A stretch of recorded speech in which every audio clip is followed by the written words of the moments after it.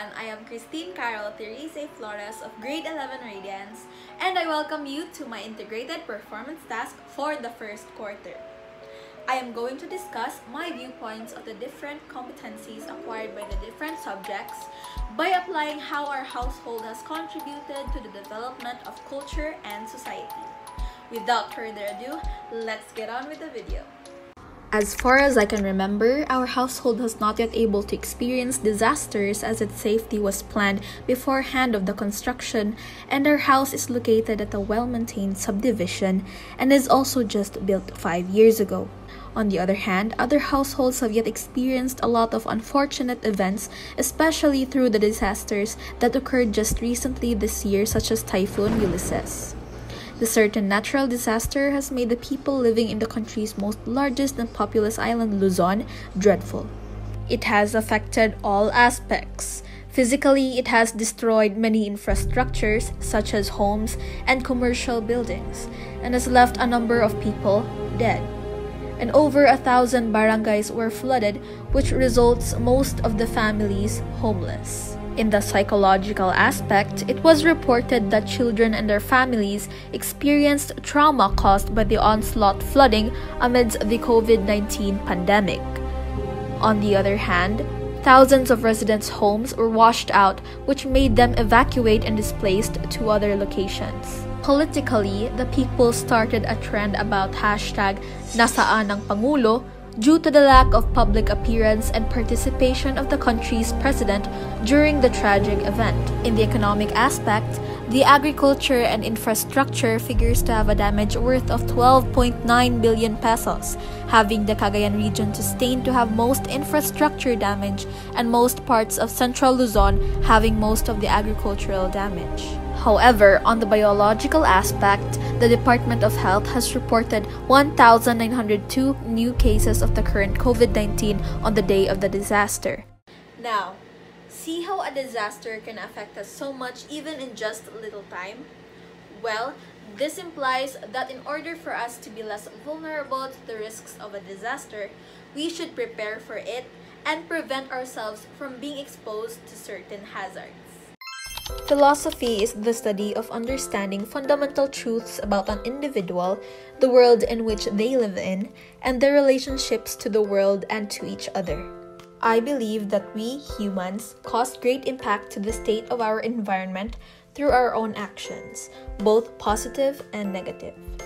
I could say that our household has contributed to the development of culture and society in showing care for the environment by spreading awareness to others about its importance to humans, practicing environmental care such as using recycled materials or renewable resources, which emphasizes sustainable development that would benefit to our environment stability.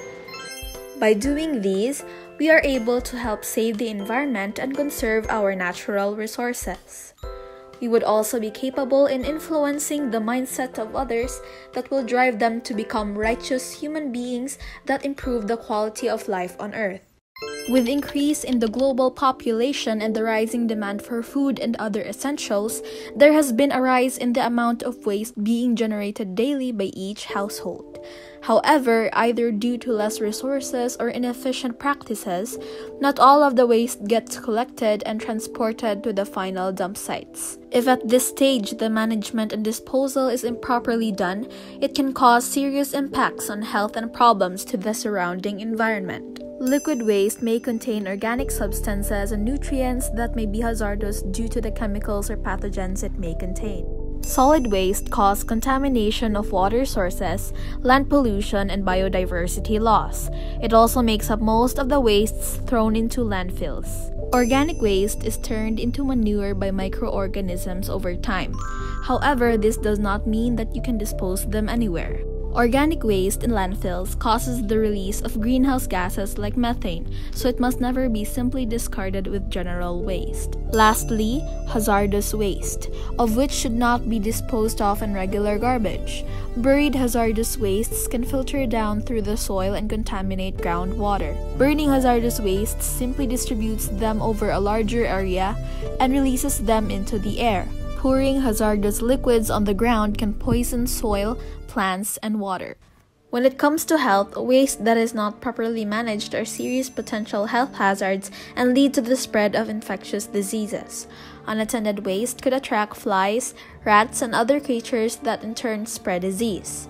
This leads to unhygienic conditions and thereby to arise in the health problems. Asides that, waste dumped near a water source also causes contamination of the water body or the groundwater source. This is how we practice waste management at home. We segregate them by biodegradable waste, non biodegradable waste, and recyclable waste as mandated by our subdivision. We also utilize used plastic containers as plant pots and as a compost bin in our home. Our household contributes to the culture and society's development because we diligently practice proper waste segregation and the three R's, namely reduce, reuse, and recycle. We also get to influence others by our practices that can also make them sustainable in achieving proper waste management. Let us not forget that we are all deeply interconnected with nature and that we, too, can be heroes for the planet in our own ways. In life, there are certain variables wherein they are to be paired or coordinated to only one thing. In mathematics, they are considered to be one to one functions. An example of this would be our identification cards and passports, because they are only valid to be used by a unique person. We can apply this to the development of culture and society, for chaos would only rarely happen if we abide by this function, because it does not involve group activity but only to one corresponding individual. Ang wika ay isang mahalagang bahagi ng pagkikipagtalastasan. Bilang isang bansang arkipelago, marami tayong mga isla at rehiyon sa Pilipinas. Dahil sa ating pagkakahiwalay-hiwalay, magkakaiba ang ating paraan ng pagsasalita, mga dialekto at maging ang ating kultura. Bunga nito ay nag-iiba ang pag-intindi ng iba't ibang komunidad sa mga ibang salita o kulturang kinalakihan. Ayon sa isang panayam, ang wika ng karamihang rehiyon sa Mindanao ay Bisaya na nanggaling sa wika ng mga taga-Visayas. Ngunit, may ibang mga salita na magkaibang kahulugan kapag ihambing ito sa iba't ibang rehiyon. Katulad na lamang sa salitang lugar na ang ibig sabihin nito sa mga taga Cagayan de Oro ay gayon sa Tagalog. Ngunit ang ibig sabihin nito sa mga taga Cebu ay pook. Kilala ang Cagayan de Oro City ng hilagang bahagi ng Mindanao bilang City of Golden Friendship. Kaya mistula ay kultura ng mga tao ang pagkakaroon ng tawagang higala o bay kahit magkakaibigan man kayo o hindi. Ito ang kultura ng mga taga Cagayan de Oro na nagsisimbolo ng kanilang pagkikisama. Ngunit, maaari ring magkaroon ng hindi pagkakaunawaan sa paraan ng pagkikipag-ugnayan nito sa iba. Kaya ay mas mabuti na pag-aaralan natin ang iba't ibang kultura at pagintindi ng iba't ibang lingwistiko sa iba't ibang komunidad upang tayo ay magkaroon ng mapayapa na komunikasyon. Communicators constantly exchange information, meaning people always seem to be either receiving or giving information. It is very important to know the strategies of communication in order for effective communication to happen. Verbal strategy utilizes words being spoken either face to face or remotely. I've got a few ideas here. Let me go through them one at a time. We can treat each one on its own merit. In times of disasters, one must not panic. Vulnerability is a state of being open to injury and the quality of being easily hurt. Visual strategy uses signs, maps, or drawings as well as graphic design. This strategy reinforces verbal communication and they help to make a point. Nonverbal strategy, often communicated through facial expressions, hand gestures, posture, and even appearance, all of which can convey something. If you're feeling excited and happy, we might have thoughts like the future is bright, and we might do behaviors like call a friend or go see a movie. Most often, we get to overthink things beyond the truth. When communicating with others, we also incorporate the different communicative strategies. It is up to us on how we apply them for the development of culture and society. Our thoughts, feelings, and behaviors are all connected and influence one another even if they are defined differently.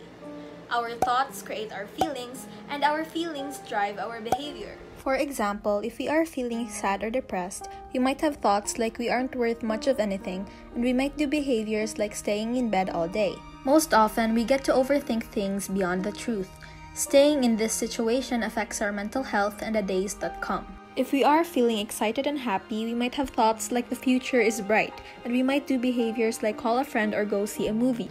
Research shows that happiness can in fact be the key to success. Indeed, happiness also brings substantial benefits for society as a whole. Without regular activity, your body slowly loses its strength, stamina, and ability to function properly. It's like the old saying, you don't stop moving from growing old, you grow old from stopping of moving.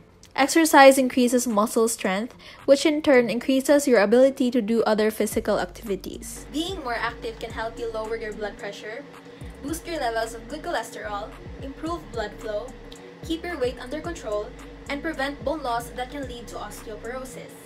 Just move more with more intensity and sit less. You don't have to make big life changes to see the benefits. Just start building more activity into your day, one step at a time. Symbols are the basis of culture. A symbol may be an object, word, or action without natural relationship that is defined by culture. Everything we do in our life is based and organized through cultural symbolism and practices. Ma'am, may you please explain this phrase? Different practices in culture are embedded with different symbols. Cultural symbols are practices that one has to abide to his cultural principles like the act of manopo which is the respect of the elderly.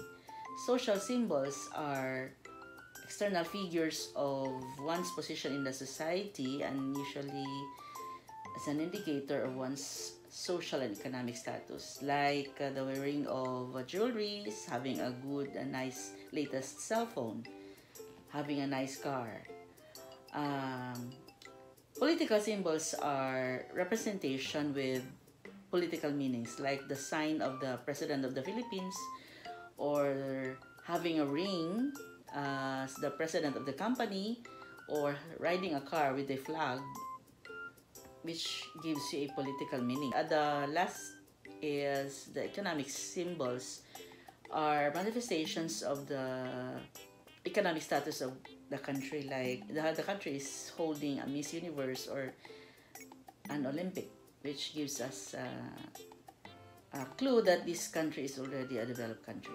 Therefore, symbols and practices are significant for they implement diverse intentions in our society. Although it's diversity, it is also possible for misunderstandings to take place. The discipline given by the symbols and practices of culture in the society has given the ability for humans to interact efficiently, discourses of different norms, and influential ideas that are being passed through generations. And that is how the different competencies acquired by the different subjects contribute to the development of culture and society. Sadly, we have already reached the end of this video. Thank you all so much for watching. See you next time. Bye!